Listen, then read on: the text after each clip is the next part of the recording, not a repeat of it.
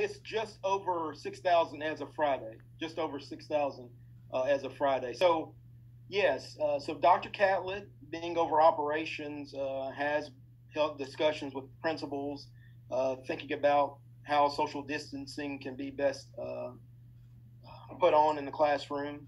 Also, uh, having a space somewhere in your somewhere on campus dedicated to putting uh, students or faculty in the event that someone comes to your campus uh, with a temperature, you know, with a hot temp, uh, having a dedicated place on campus to uh, to put them until a parent can pick them up.